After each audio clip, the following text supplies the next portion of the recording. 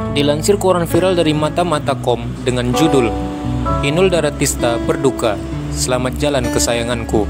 Mata-mata, tanggal 24 bulan 7 2021. Dilansir dari mata-mata.com, Inul Daratista membagikan kabar duka dari keluarganya melalui akun Instagramnya.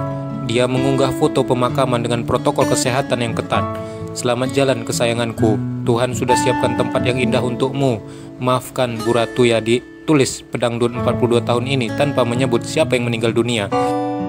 Namun di kolom komentar Inul Daratista menjelaskan kalau yang meninggal adalah adik dari Adam Suseno, suaminya. Adiknya Mas Adam balas Inul di kolom komentar Meli Guslo menanyakan siapa yang meninggal. Ditinggal orang tersayang karena COVID-19. Inul Daratista sampai menyinggung orang-orang yang gak percaya dengan virus corona ini. Masih kalian gak percaya si brengsek COVID ini, tegasnya. Inul kemudian berdoa agar semua orang bisa dijauhkan dari COVID-19. Dia juga mengingatkan pentingnya saling menjaga. Selain itu, Inul mewanti-wanti untuk tetap waspada dan jaga kesehatan meski sudah divaksin.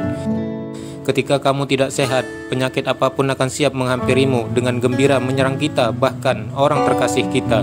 Mari jaga kesehatan. Pesannya disisipi banyak emoji nangis. Beberapa rekan artis pun membanjiri kolom komentar dengan ucapan bela sungkawa. Innalillahi wa inna ilaihi rojiun. Turut berduka cita Mbak Askor Inul D. Komentar Titi Kamal.